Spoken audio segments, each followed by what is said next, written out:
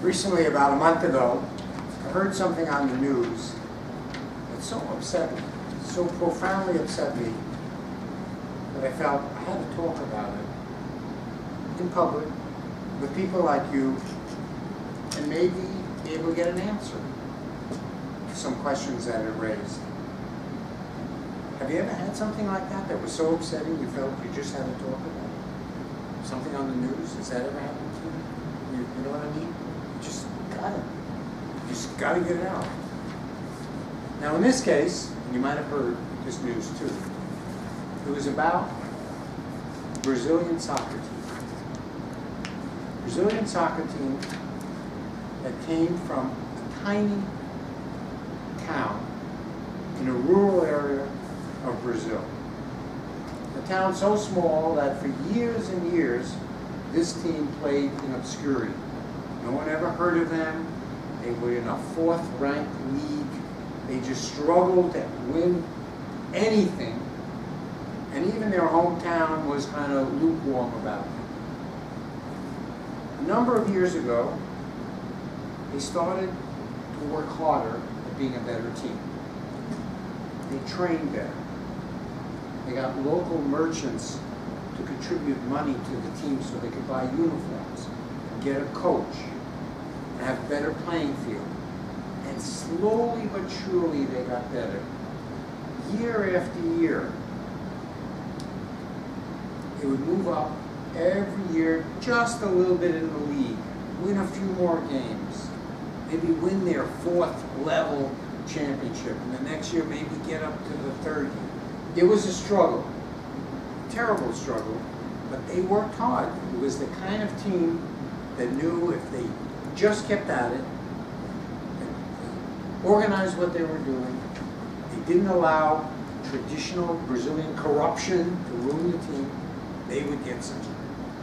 And slowly they moved up until this year, not only were they playing in the number one regional league, but they won the championship of that league, which allowed them to go on to the, the South American Championship. Because they had already beaten the teams in their league and the national teams. It was, it was what you call a Cinderella story, you know, the unexpected princess. Out of nowhere, the team from the rural area, all of a sudden making it big. Now, have you heard about this team? You have, of course. Have you? You haven't? Have you heard about this? No. And you're going to be shocked when you find out that on their way to the championship, which was the dream come true, a plane which had 77 people crashed into a mountain. And almost everyone except for four people died. The whole team was wiped out. And my reaction was, this is not the, supposed to be the end of the story. This is not the way it's supposed to be. You're supposed to work hard, keep at it, never give up, and win the whole championship. It's, you know, Rocky and the movies and everything. You don't crash into a mountain and die. That's not the way it's supposed to be. Now you go to Toastmasters and you'll hear people give inspirational talks, which are, keep at it and you will achieve. This is one where they kept at it and they crashed in the mountain. They all died. And, I, and this, this shook me up. I could see it's bothering you, right? You're not supposed to die when you work hard. And I couldn't process this for a long time. It so upset me. And the only thing I could come up for, with is the narrative. Working hard and succeeding is humans' narrative. It's our story. Your story as a human being. But what the universe has planned for you is not for you to say. It's not for you to say the story turns out this way. It's the universe.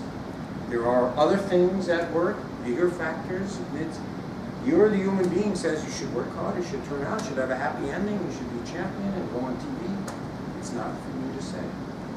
So this puzzled me, and I felt I had to talk to somebody about it. And hope maybe you have an answer. Now, like me, you might just suffer with this knowledge. You keep wondering, how could this be? It's not for me to say. Maybe that's the way it is. But if you can get an answer, maybe you have the answer. Maybe you have the answer right, you know.